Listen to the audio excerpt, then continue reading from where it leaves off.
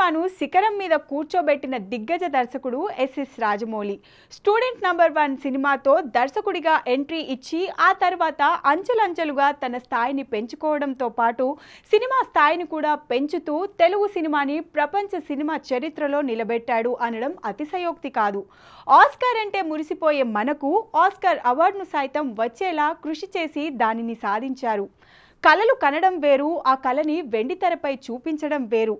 కళలు చాలామంది కంటారు కానీ ఆ కళలని కొంతమంది మాత్రమే వెండితెరపై ఆవిష్కరిస్తారు.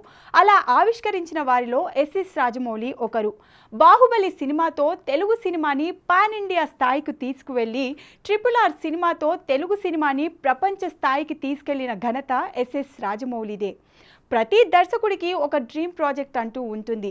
అలా ఎస్ఎస్ రాజమౌళి విషయానికి వస్తే మహా మహాభారతాన్ని తాను తీయాలని దానిని తీయడానికి చాలా శక్తి కావాలని ఎప్పటికైనా అది తన డ్రీమ్ అని ఇదివరకే చాలా ఇంటర్వ్యూస్లో రాజమౌళి చెబుతూ వచ్చారు. ఇప్పుడు అదే మహాభారతం బాలీవుడ్లో ఒక మూడు పార్ట్స్లో రానుంది. పర్వ అనే పేరుతో ఈ మహాభారతం తెరకెక్కనుంది. ఈ మహాభారతాన్ని వివేక్ రంజన్ అగ్నిహోత్రి మూడు భాగాలుగా తెరకెక్కించనున్నాడు. పల్లవి జోషి దీన్ని నిర్మిస్తున్నారు. రాజమౌళి అనుకున్న ఈ మహాభారతం అనే కళ ఇక్కడితో ఆగిపోతుందా? లేదంటే రాజమౌళి మహాభారతం కూడా ఉంటుందా? అని తెలియాలంటే ఇంకొన్ని రోజులు వేచి చూడక తప్పదు.